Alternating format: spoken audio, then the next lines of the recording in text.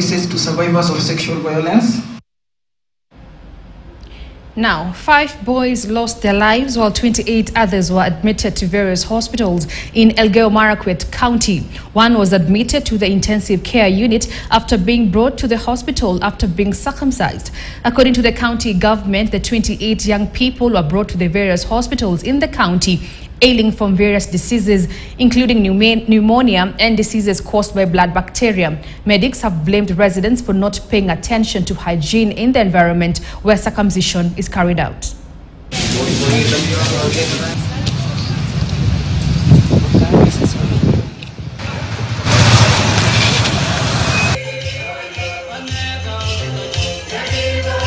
We have admitted 28 uh, initiates who have uh, recently underwent the rites of passage or circumcision and have come into our hospitals with severe uh, pneumonia, severe septicemia, and severe pneumonia, amongst others.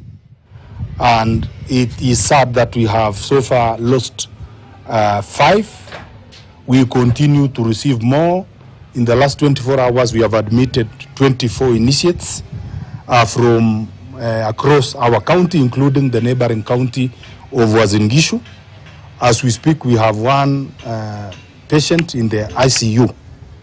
And so we want to take this opportunity to appeal to all the caregivers who have initiated in the seclusion to take the extra uh, caution and safeguard the health and the lives of the initiates who are uh, currently undergoing the rite of passage. And also it's sadly to say that the, the lives that are being lost are needless. They, we are not supposed to lose any life because the procedure by itself is supposed to be a safe procedure.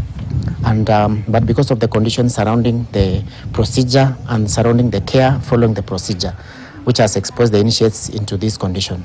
So as mentioned, we are appealing that um, our desire as health workers is that once we are able to identify these cases, that we should be able to have prompt referrals to the facilities so that they can be given care that is needed.